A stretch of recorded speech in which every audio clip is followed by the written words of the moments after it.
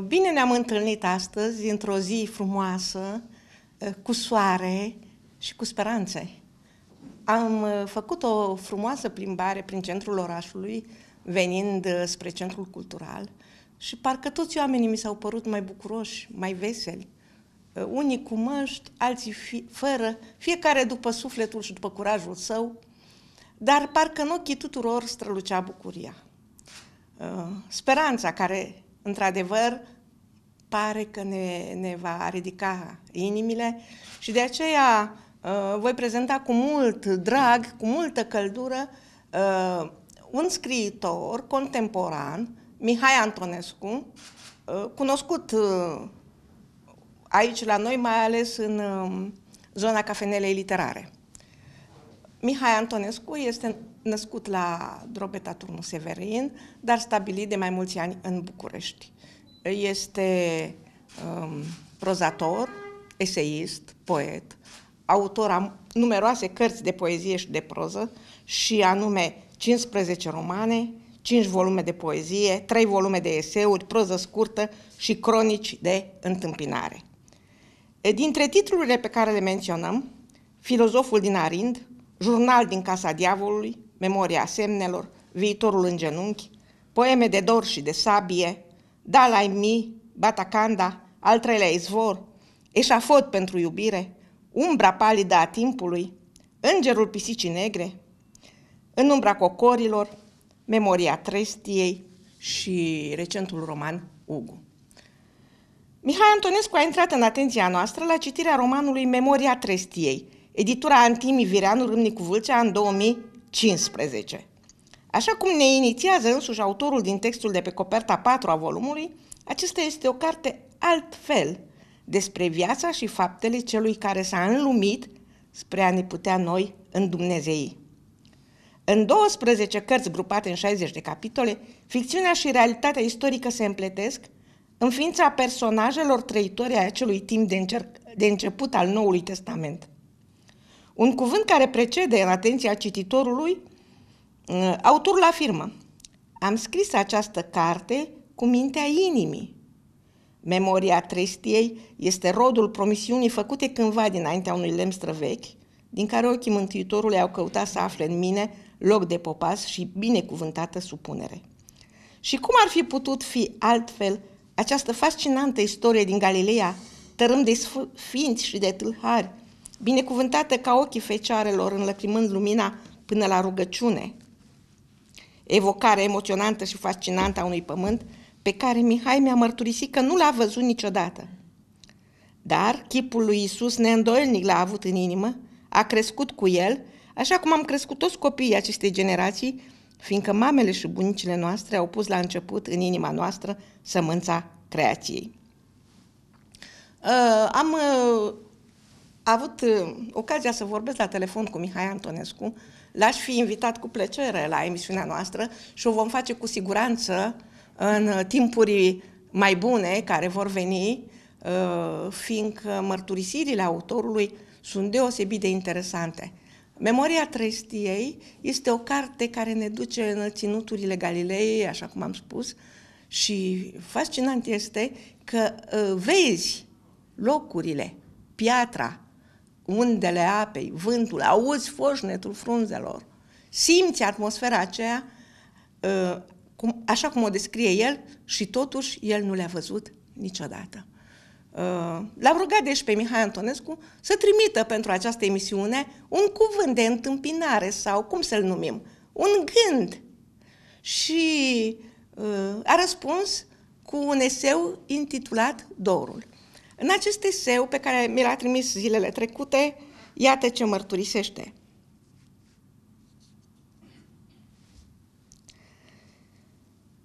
Ca să scriu o carte, trebuie să mi se facă mai întâi dor de ea. Dorul e îngăduință, asumare, desăvârșire. Dorul asta la căpătâiul scrierii tuturor cărților mele. Spuneam că dorul e mai întâi îngăduință să ceri îngăduința să ți se facă dor.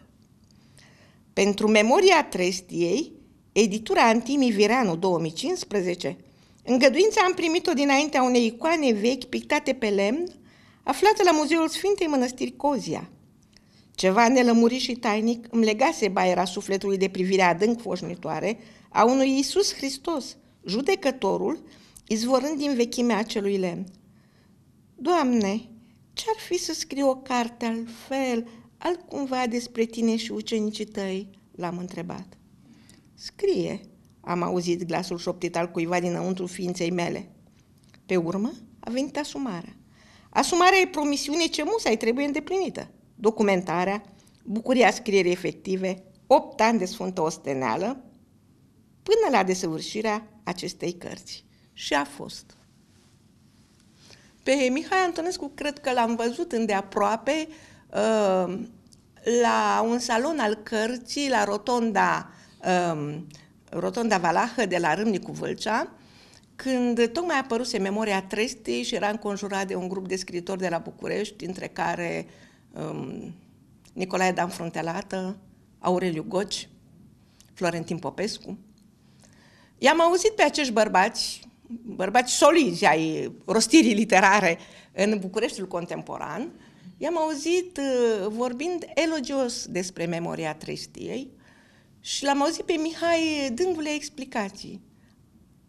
Sigur, am citit atunci cartea, dar uh, n-am simțit că trebuie neapărat să-l prezint. Cartea mi-a plăcut foarte mult, dar n-am simțit că trebuie neapărat pe Mihai Antonescu să-l prezint într-o emisiune aici la Pitești, ca pe unul din prozatorii contemporani asupra căruia trebuie să ne uh, plecăm atenția. Uh, am rămas în bună prietenie și um, în vremurile acestea pandemice în care ne întâlnim așa de greu și de rar, în grădina scritoare Ana Calina, garaj din centrul Bucureștiului, la o astfel de întrunire de suflet uh, pentru romanul Dacii Nemuritori, pe care Ana Calina l-a prezentat în uh, cadrul unei emisiuni a Centrului Cultural, uh, Mihai și-a anunțat apariția romanului Ugu.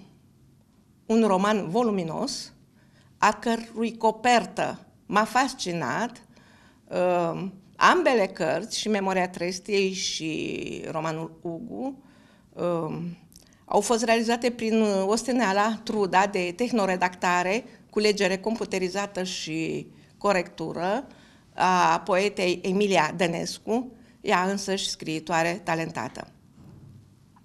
Sigur, romanul Ugu a constituit curiozitatea mea imediată, dar citind romanul, am descoperit dincolo de ceea ce a intenționat autorul, adică de prezentarea destinului comisarului de poliție Eugen Alimănescu, uh, supranumit Ugu, uh, șeful brigăzii Fulger, ceea ce m-a impresionat a fost prezentarea războiului nostru pentru cucerirea Basarabiei, drama soldaților în stepele uh, Uh, rusești și drama mareșalului deopotrivă a mareșalului Antonescu și felul cum uh, mareșalul Antonescu este aproape înviat, ca să spun așa, uh, de pana acestui scriitor, mă exprim clasic, înviat de pana acestui scriitor, îl vedem vorbind, rostind, gândind.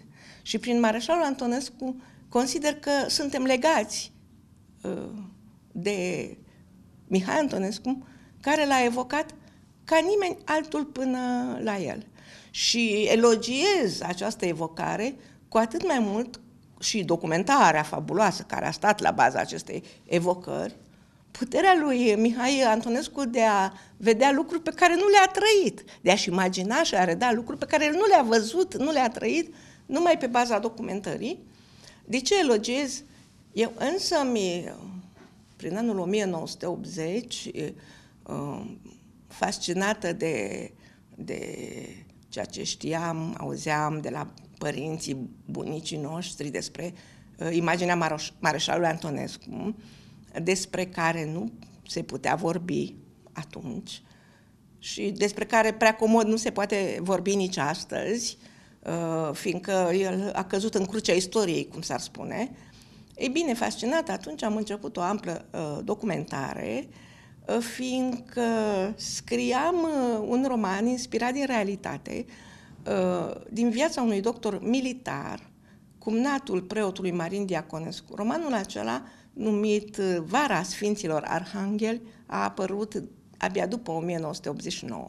Iar doctorul Petre Bubu, original de la noi din Argeș, personajul principal al cărții, uh, pe care l-am refăcut uh, după scrisorile lui de pe front, uh, primite de, de mine, de la părintele Diaconescu, personajul acesta a fost în stepa Rusiei. S-a întâlnit cu Antonescu. Acest doctor erou ar merita să fie mult mai cunoscut piteștenilor și mă gândesc să prezint odată această carte Uh, ca și cartea lui Mihai la, cer, la Cercul Militar, dar să prezint cartea doctorului Bubu, despre doctorul Bubu și aici, la Centrul Cultural, pentru că acele scrisori sunt adevărate, așa cum au venit ele de pe front, așa cum s-au păstrat în arhiva părintelui Diaconescu și cum le-am reprodus eu cu fidelitate, uh, marcând în subsolul paginii uh, data apariției scrisorii, locul în care a fost scrisă. Așadar, eu mă documentasem foarte mult despre general, despre mareșal, întâi general, Antonescu mai târziu mareșal. Um, trăisem epoca alături de personajele mele și Mihai mi-a făcut surpriza de a mă readuce în acele locuri, dar cu mult mai multe date despre mareșal. Eu uh, îmi propusesem astăzi să prezint numai romanul Ugu, dar mi-am dat seama că fără memoria trăistiei această prezentare ar știrbi din prestigiul scriitorului, pentru că sunt două cărți într-un fel opuse. În memoria trăistiei avem extrem de multă metaforă, lirism, sugestie, se aude, se simte. În uh, Ugu avem uh, ceva din uh, groapa lui Eugen Barbu, avem limbajul mahalalelor, avem argoul. Avem în ambele cărți scene dure de împușcături, scene de închisoare, mareșalul ajunge la Jilava, uh, Mântuitorul uh, Iisus este arestat, este obligat să urce drumul Golgotei și așa mai departe. Uh, voi folosi mult textul pe care l-am scris acasă despre și pe care îl voi trimite eventual reviste Argeș despre aceste cărți pentru că am selectat câteva pasaje reprezentative și cred că e mai bine să vorbim despre Mihai chiar cu vorbele lui. Nu știu dacă toți, citi, toți ascultătorii și toată lumea va putea să citească aceste cărți, dar uh, fragmente, mesaje care pornesc din aceste cărți către cititori, e bine să reproducem aici. Iată cum ne poartă autorul spre ținuturile sfinte. Adevăr e drumul soarelui început hăt dincolo de câmpile înalte ale Iordanului, trecând molcom pe deasupra rotundului tabor, ca un îndemn la neodihnă cât încă nu înserează de tot peste Carmelul prăbușit în undele mării celei, celei mari. Oameni și pietre. Fire aburind ori încotro privești, trăcându-și curgerea din străvechi, neuitate calendare. În acest peisaj evoluează personajele cărții, care sunt învățătorul și ucenicii lui, păstorul Amin, instanța supremă a mărturiei despre cer și pământ, Ioan și Iacov, Ioana și Maria din Magdala, Claudia și alte femei sfinte care îi însoțesc pe ucenici. Limbajul e cald, învăluit, vorbele abia întrăznesc să se rostească într-o blândă curgere căci e o lumină sfântă care face ca totul să pară într-o lină plutire. Iată pe unul din martori, Iair, cel care adună trestii pentru păstorul Amin. Doamne, cum umbli tu singur pe drumurile astea între Nazaret și Capernaum? Au nu știi că rariștile pădurii sunt locuri cu primejdie? Că în urma tâlharilor iarba nu apucă să se ridice între două nelegiuiri? Nu sunt singuri iaire. Ochii tăi așa văd, însă grija din credință izvorește, bucurându-mă. Tâlhari, ce ar putea ei să-mi ia mai înainte să le dau eu? Acesta e tărâmul unde Isus începe să predice, unde lumea se adună recunoscându-l și îngenunchind înaintea lui. Mihai Antonescu devine el însuși martor mut al acelor scene pe care ne le înfățișează în paginile cărții umblau spornic pe cărări înguste, șerpuind după bunul plac al pădurii ori, ori al stâncilor ivite la tot pasul. Ioan vedea uimit cum pietrele se trag în pământ dinaintea lui Isus să nu-l vătăme. E oarbă lumea gândi dacă mai pune la îndoială atâta dumnezeire. El este cel ce este, iar Galileea e începutul tărâmului lui de iubit și de suferit. Ajungă-ți, Galileea, Doamne, nu te pogori la Ierusalim și Betara, strigă pe dinăuntru, cuprins de înfiorarea unei presimțiri. Tulburătoare este întâlnirea la apa Iordanului dintre Domnul și Ioan Botezătorul. Autorul e parcă martorul nevăzut al acelui moment. Isus are ochii asemenea blândule amor căzând moale pe întinsele limanuri, iar obrazul mai liniștit ca duhul sării aburind în pietre. Botezătorul se împărtășește din liniștea Domnului lui, ascultându-l, credința așteptării venirii Fiului i-a fost hrană și adăpost. Taina botezului, această pregătire și împlinire pe care au așteptat-o veacurile, au prorocit-o prorocii, readusă în sufletul cititorilor prin strădania unui om al timpurilor moderne, prin energia rodnică a unui scriitor contemporan, un mirean care scrie pentru mireni, adepându-i la izvorul nesecat al credinței. Personaj simbolic, păstorul Amin, păstor și el de oameni în felul lui, îl întâlnește pe Isus, care, deși în trup omenesc, este în același timp energie răspândită în toate elementele firii. Fiul Mariei surâse cu blândețe, iar surâsul ăla trecut în mugurii de Leandru, făcându-i să se deschidă. O mireasmă nouă se răspândi pe țărmuri, peste unda apelor dulci până dincolo de Gamala, cea încă neajunsă de, de centuriile romane. Suntem prezenți în timp și în istorie deodată. Vedem mulțimile adunându-se în taină, persecuțiile romane, suferințele lui Ioan Botezătorul și puterea sa și peste toate strălucind chipul dumnezeesc ce va împlini mântuirea lumii. E vremea, spuse Iisus ridicându-se. Câteva raze de soare poposiră pe umerii cămășii dintr-un singur fir, înaripându-i cumva. Iisus, lumină, se făcu atunci. Zărim prin cerul înstelat pridvorul lui Iahve, în vreme ce împrejurul și departele se fac una, când din rotundul unor înțelesuri mai presus de cuvânt se naște acea scânteie cosmică pe care noi o numim spirit. Privindu-și ucenicii, Iisus îi adună pe toți în lumina ochilor lui pentru a-i pregăti pe toți să devină păstori la rândul lor. Iisus îl privi lung pe Ioan, apoi cu un glas pe care ucenicii nu mai auziseră până atunci șopti.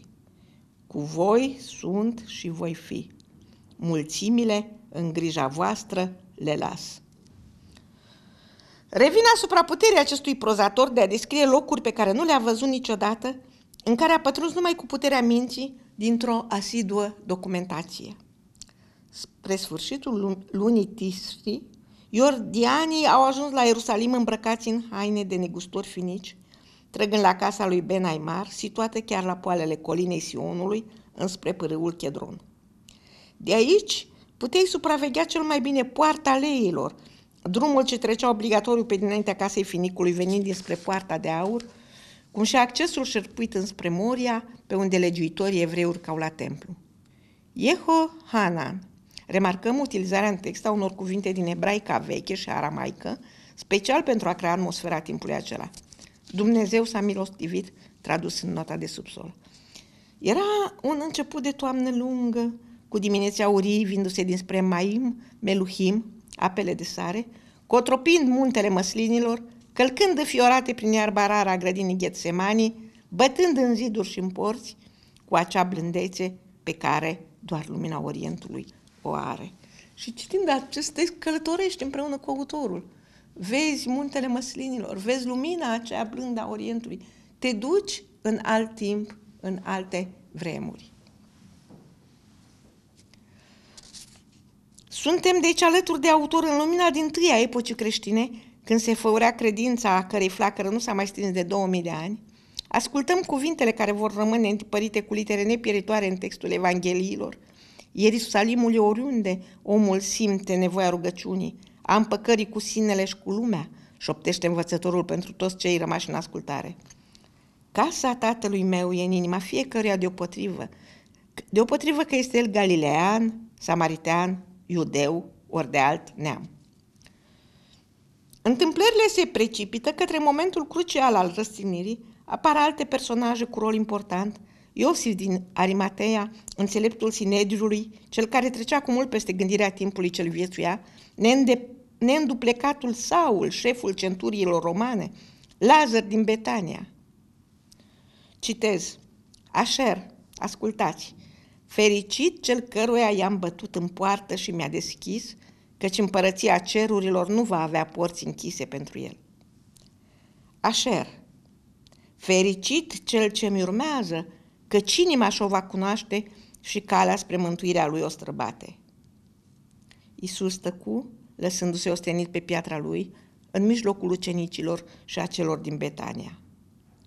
Petru și ceilalți se uitau la lume, nevenindu-le a crede câtă se adunase în ziua aceea. Așa înaintăm în poveste, suim dealul Golgotei cu Isus și cu Simon Teslarul, privim cerul și pământul cu tremurați alături de cei doi tâlhari, auzim cuvintele Eli, Eli, lama sabatani, strigate de fiul cerului și al omului deopotrivă, dându-și sfârșitul la lacrimile lor lui, câți au fost aproape. Prin inima Mariei Maica a trecut sabia, ucenicii sunt înspăimântați, femeile sfinte stau împietrite de jale. Hu, hu, face vântul pe dealul Golgotei, adunând norii peste oameni și fire. Iată ce rătrăire a acelor momente. Urmează miracolul învierii, chemarea lui Saul, care îi spune, oglinda ta e celălalt, iar sângele Duhul meu îl strecoară. Împuternicirea ucenicilor, transformarea lor în apostoli, Maria din Magdala, femeile mironosițe, drumul Damascului, toate apar din alt timp și se răsucesc în fața cititorului. Aceia sunt aleșii, martori și întemeitori, umblând cu traista plină de semințele adevărului în căutarea pământului roditor. Și cartea se încheie cu ultimele cuvinte ale păstorului Amin din Magedam, Creșteți munte de iubire. Fabulos mesaj pe care un om modern, un uh, prozator din frământata epoca literaturii contemporane, îl transmite cititorilor de azi. Uh, am trecut uh, galopând prin acest roman uh, destul de voluminos, despre care s-au scris cronici de întâmpinoare bune de, de cei care au participat la, la prezentarea cărții, la Râmnicu Vâlcea, cartea fiind, așa cum am spus, apărută la editura Antimi Viranu, al cărui director este scriitorul și jurnalistul Nenea Barbu, cum mi se spune în mediul literar, um, ca să pot ajunge acum la cel de-al doilea roman, Ugu, a apărut, așa cum am spus, chiar în uh, toamna lui 2021. Uh, la acest roman uh, m-a, m-a frapat în primul rând coperta de o deosebită frumusețe, de o realizare grafică excelentă, nu numai pentru că reproduce o fotografie din Bucureștiul interbelic, dar așa cum a fost gândită de către realizatorul ei, um, romanul Ugu a apărut la editura Tracus Arte din București, um, iar coperta este realizată de Nicolae Login și de asemenea subliniez uh, din nou munca de culegere, corectură și tehnoredactare îndeplinită cu abnegație de poeta Emilia Dănescu, pe care probabil că o vom prezenta uh, într-o emisiune viitoare a Centrului Cultural. Uh, sigur, în uh, eseul pe care mi l-a trimis acum două zile Mihai Antonescu, uh, ne spune despre Ugu, citez, cu Ugu lucrurile au stat un pic altfel, adică altfel decât în memoria trestiei. Mă lecuisem de un dor. Treceau ani, iată, treceau ani, sunt șase ani între cele două apariții editoriale.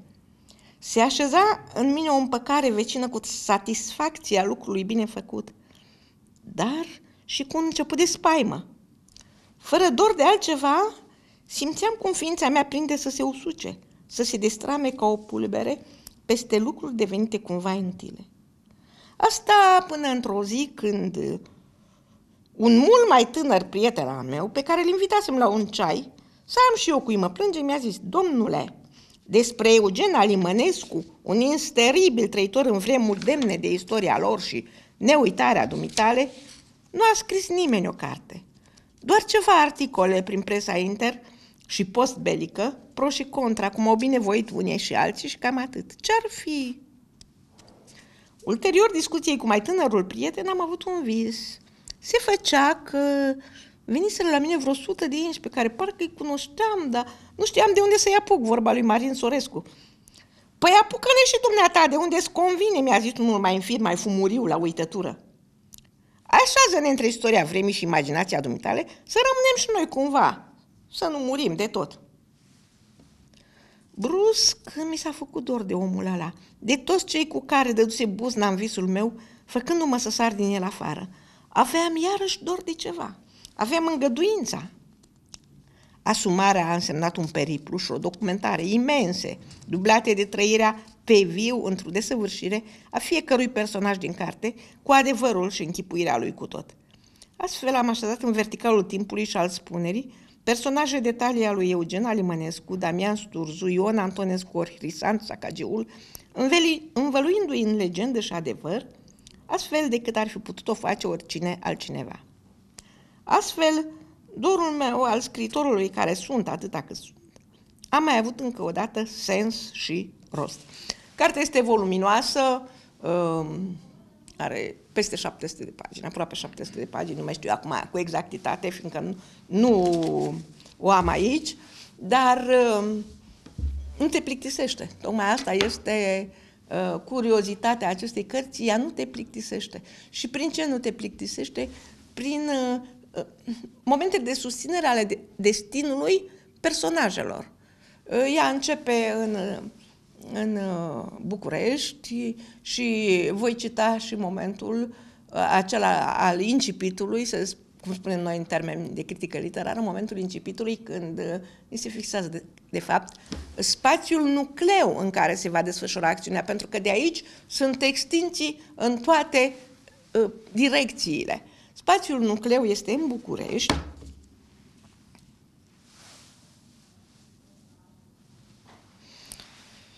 Deși acțiunea se va duce în Slatina, Drăgășan, Turnul Severin și Vâlcea, dar și la Canal, la Poarta Albă, Odessa și chiar la Cotul Domnului. Însă pornim din Pantelimon, de pe malul Colentinei, din târgul de afară sau noul obor, cum mi se mai spune, din lumea mahalalelor și pătrundem în palatul regal din vremea lui Carol al II-lea și în anturajul mareșalului Antonescu. Chiar merită să cităm incipitul cărții. Bâldâbâc căzul luna în apele Colentinei, răsucindu-se, zbătându-se acolo din toate cercurile ei, sub ochii holbaței broastelor, încremenite în așteptare pe frunza brusturelui aproape veșted. Dinspre păduri, un aer subțire, tot curge mirosind a toamnă și a departe, amestecându-se cu fumul de la vetrele țiganilor rostuite pe malul înalt. Ne poartă textul lui Mihai parcă spre lirismul metaforic al lui Fănuș Neagu, dar și către groapa lui Eugen Barbu atunci când ne referim la posibilitățile stilistice ale argoului. În acest moment facem cunoștință cu apariția personajului Damian Sturzu, venit de undeva din părțile vâlce, din zanfireștii copilăriei și căutând adăpost în casa cubanezei florăreasă din obor, o crotitare a divanului cu pisici. Damian este un justițiar în felul său, făcându-se repede temut în lumea marginașă și din nou o mostră a scriturii acestui prozator care trebuie să intre în atenția noastră. Afară, septembrie se încurcase în crengile, în crengile vișinului din fața casei și nu mai pleca. O liniște adâncă trecea de sculță pe stradă, mângâind arbori și porți. O pândă pe termen lung era viața lui în lumea în care tocmai intrase, punându-i la încercare tăria simțurilor și limpezimea judecății. Damian colindă pitoreștile cârciume ale cartierului, servind mereu numai celebra minerală Bușteni, ă, cârciumi cu nume ciudate, la trei furculițe, unde cade sub farmecul ochilor verzi ai zarei, de fapt, celebra Zaraza, ă, plecat apoi la Vulpea Roșie pe șelar să cânte cu Cristian Vasile, cunoaște rând pe rând oamenii oborului. În paralel, la Palatul Regal, regele Carol este neliniștit de moartea ministrului Arman Călinescu, de puterea legionară, de planurile nemților. regele are impresia că a fost așezat cu bună știință pieziș în tiparul istoriei. De aceea decide să-l recheme în ajutor pe generalul Antonescu, exilat la mănăstirea Bistrița. Foarte interesantă este prezentarea imaginii uh, cărturarului Nicolae Iorga, pe care regele Carol al doilea îl cheamă desfătuitor. Iorga apare um, și el ca un justici, justițiar în această cruce a istoriei. Imaginea lui Iorga în umbra salonului regal este zugrăvită și redată cu multă fidelitate.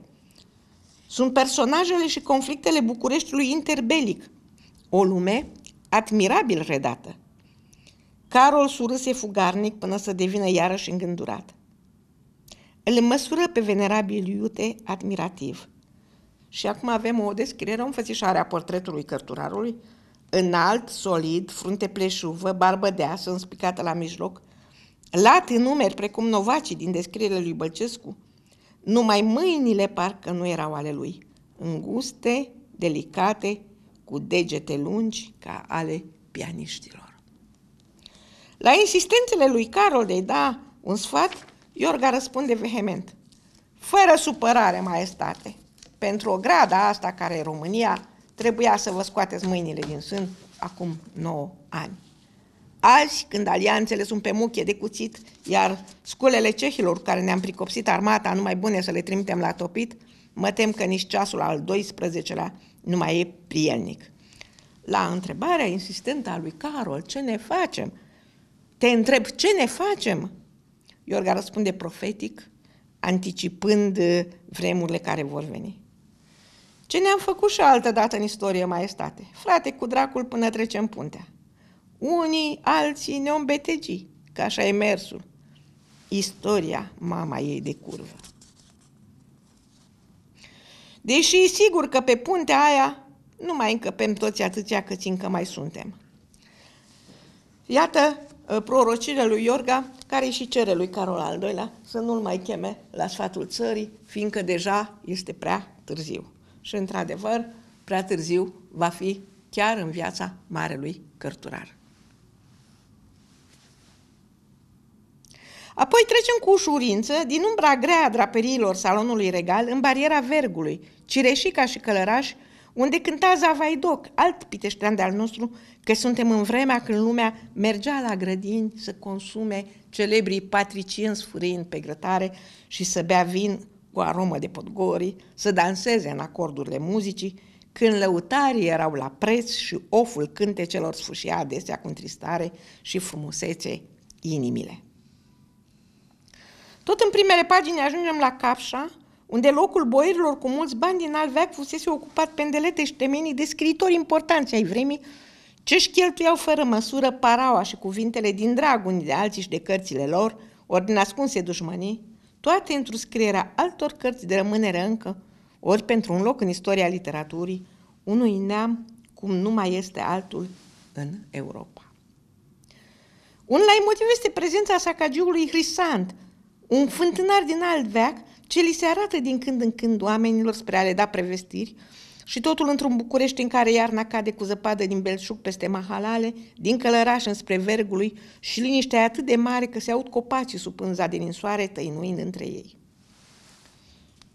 În capitolul al doilea, intitulat Sarea vântului, ajungem în Slatina anului 1927. Aici ne întâlnim cu un adolescent, acesta va fi Ugu, Ugu va fi fratele de același tată, dar geamănul, care seamănă identic al lui Damian Sturzu. Ugu, porecla lui Eugen Aliman, cum este uh, descris în carte, fiul preceptorului Dinu Aliman, Eugen uh, ne duce într-o slatină pe care vă rog să mă credeți că nu am recunoscut-o și chiar am fost uimită, fiindcă în, întâmplările vieții mele fac ca eu să trec aproape lunar prin Slatina în drumurile către socrii mei și n-am văzut nimic din frumusețea pe care i-a văzut-o Mihai Antonescu. Și, uh, l-am sunat și i-am spus, cum ai văzut tu aceste locuri? Faci din Slatina o cetate aproape legendară.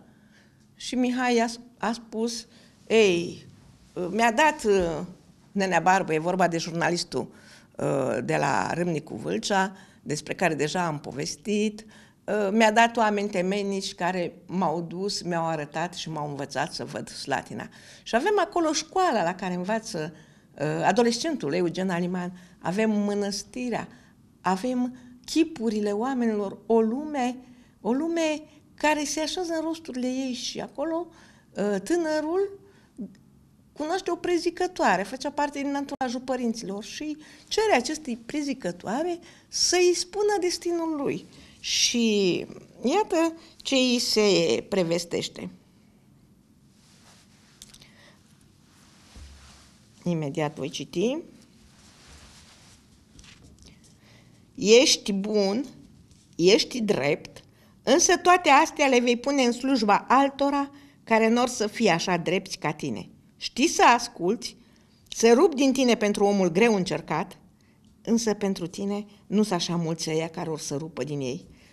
Și chiar așa a fost destinul fratelui de tata al lui Damian, Sturzu, comisarul de poliție Eugen Aliman, fiindcă firul vieții va duce la întâlnirea lor și la îngemânarea inimilor. Anii de școală într-un oraș cetate, jurământul de frăție al lui Genu și al prietenilor lui sub gorunul secular din curtea școlii, zilele de primăvară când slatina e numai flori și mireasmă, iar liliacul bătut se uită curios la trecători de după garduri, toate aceste imagini ne însoțesc pe măsură ce parcurgem paginile cărții și însăilăm drumurile personajului principal, ca socotitor în podgorile de la Drăgășani sau elev la școala de contabil de la Orșova, legănând sub pe visuri, la fel ca legănarea valurilor Dunării. Și împreună cu întâmplările crește și biserica din Vergului, pentru care se zbate din toată ființa Părintele Sârbu, ajutat de doamna Maria, soția generalului Antonescu, cel care a preluat puterea în vremurile acelea tulburi, când chiar Iorga a căzut sub teroarea istoriei. Generalul a dispus înzestrarea spitalelor cu aparatură nouă, dar pe străzile Bucureștiului viața oamenilor a ajuns un fel de ruletă rusească. Din orice, de oriunde, Focul pistoalelor mitralieră mușcă din ziduri, din copaci și din oameni, comandourile ucigașe acționând la ordinul lui Horia Sima. Generalul Antonescu pune capăt rebeliunii legionare, un mare cutremur îngrozește oamenii, dar și vestea unui mare război care se apropie. Aliman, geamănul sturzului dintr-o altă mamă, la numai o lună după ce frații s-au întâlnit, pleacă pe front. Și suntem martori nevăzuți ai luptelor îndârjite dintre Prut și Nistru. Între Prut și Nistru, țărâna Basarabiei arată de la nord la sud cu tranșee lungi săpate în zigzag. Printre ele stau mărturie luptele, luptelor craterele adânci ale obuzierelor de mare calibru. Pe marginea acestor cratere zac fără viață trupuri din ambele tabere, amestecate cu frunza plopilor sfurtecați. Peste frontul lunecă un cer galben și bolnav. Mareșalul Antonescu nu-și poate trăda în acest război cuvântul de militar, dar frământările îi răvășesc mintea și sufletul. Nemții nu-și țin cuvântul să trimită întăriri și aviație și cu toate acestea, mareșalul trebuie să arate țării de ce sunt în stare românii. Și sunt multe paginile dedicate astfel luptei mareșalului cu, cu, această, cu acest vălug al istoriei care până la urmă a sfârmat chiar și eroismul său.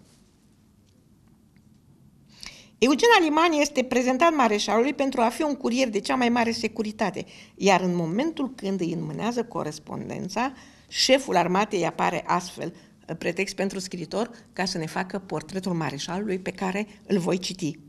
Antonescu e mediu de statură, mai mult scund, putem zice, nins la tâmple, chelie rotundă, ochi albaștri expresivi.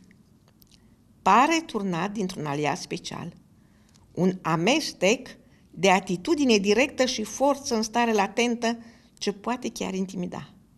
Totuși, în privire îi se poate citi o anumită blândețe, chiar bunătate aproape copilărească, în spatele căreia stă la pândă o mândrie vulcanică ce stă mai mereu să-i scape pe din afară.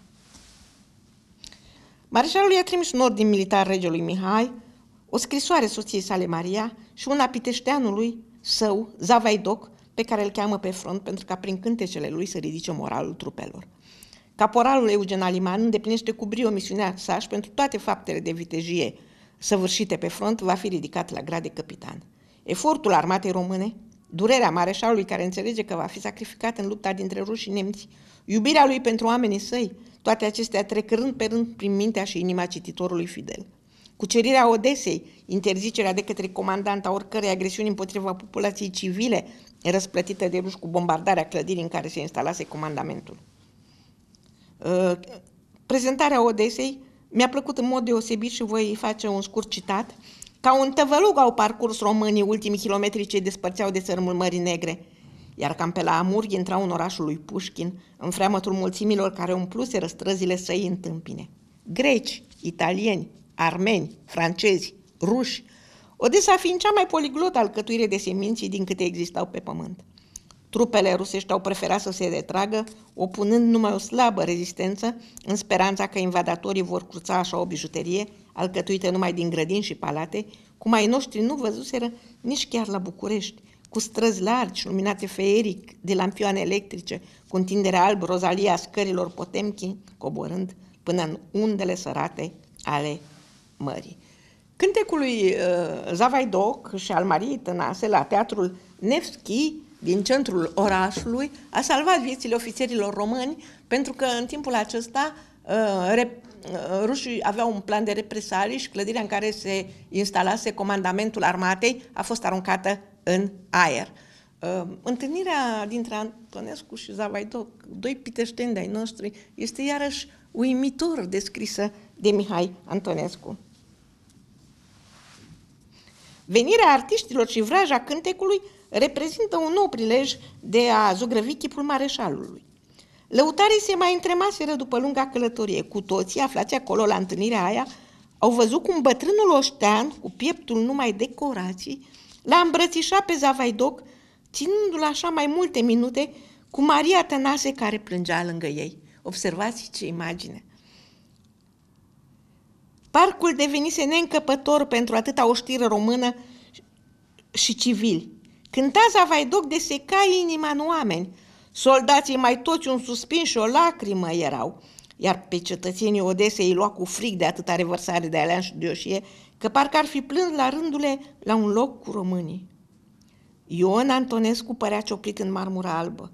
Sângele îi fugise din obraj, iar ochii lui prinseseră culoarea soarelui de iarnă. Un asemenea portret al marelui patriot argeșan, care a fost mareșalul, nu am întâlnit până acum în nicio carte din literatura noastră. Iată că a sosit și timpul acesta prin scrisul unui român crescut prin ținiturile dunărene. Alături de mareșal se distinge grupul celor care rămân credincioși, colonelul Petre Dumitrescu și Eugen Aliman. Foarte inteligent uh, uh, este redată discuția dintre generalul Antonescu și uh, Mihai Antonescu, ministrul său uh, credincios, și Mihai Antonescu sugerează, este de fapt glasul autorului, uh, bine ar fi fost, uh, excelență, să ne oprim la Nistru. Și acum este momentul în carte în care Mihai Antonescu încearcă să prezinte ce a gândit mareșalul și atât ce răspunde acesta. În primul rând, n-am făcut-o pentru Basarabia, fiindcă Basarabia Știam că va fi a noastră atâta timp cât vom sta cu mâna pe trăgaci, dar, iată, am citit și eu foarte mult, dar nu știu dacă s-a mai exprimat această idee în documentarea despre Marșalul Antonescu, în tot ce a scris revista aceasta de la Centrul Cultural, Restituiri, care a dedicat pagini importante acestor momente istorice. Antonescu zice, am rămas în luptă, i-am spus da lui Hitler și de frica bolșevismului pentru a-i împiedica să se lățească și peste țara noastră. Oricât de bine uh, intuise mareșalul Antonescu pericolul bolșevist, nici măcar gândul lui nu a mers atât de departe cât de groaznică a fost realitatea uh, întâmplată atunci, fiindcă mareșalul a ținut alături cu nemții, convins că nemții vor fi un zid împotriva bolșevismului și nici prin cap nu i-a trecut că și jumătate din Germania va deveni uh, teritoriu dominat de stânga, de comunism. Nici prin cap, nici măcar atunci bravului Ostaș nu i-au trecut aceste lucruri și el încerca să pună o stabilă. Uh, de altfel, uh, este prezent în carte și momentul în care uh, regele Mihai I îl cheamă la palat pe mareșal și dispune a arestarea lui. Um, cei apropiați, colonelul Petre Dumitrescu, uh, cei credincioși mareșalului, îl sfătuiesc să nu se ducă la palat. Dar, Mihai, dar Ion Antonescu general și mareșal al armatei nu poate să se ascundă în spatele unui cuvânt și merge cu capul sus și acceptă arestarea, deși o prevăzuse. Iar în ultimul cuvânt pe care îl adresează regelui, vedem exact prorăcirile care s-au întâmplat. Nimic nu se va mai putea repara, nici dumneavoastră, maestate, nu veți mai putea face nimic. Roata istoriei se rostogolește.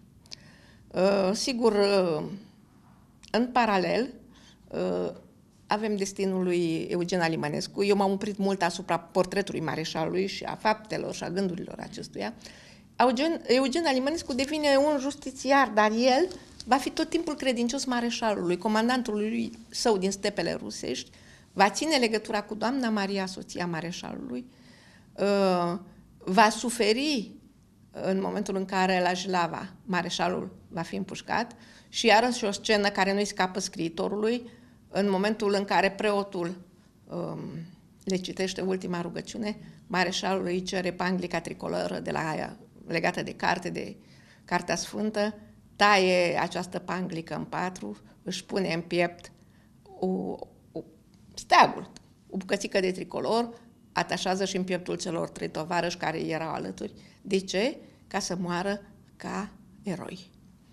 Ă, să simbolizeze moartea lor sub drapelul țării, deci ca eroi. Curajul mareșalului de a sta drept și de a cere să nu fie legal la ochi în fața oștenilor este cunoscut, ca și ultima scrisoare pe care o trimite soției sale, Maria, ă, scrisoare pe care am citit-o prima dată din mâna părintelui Diaconescu, dar uh, era prin anii 1980 nu, nu pot să-mi dau seama acum, pentru că atunci totul se făcea cu frică și ferit. Dacă era chiar originalul sau era o copie, părintele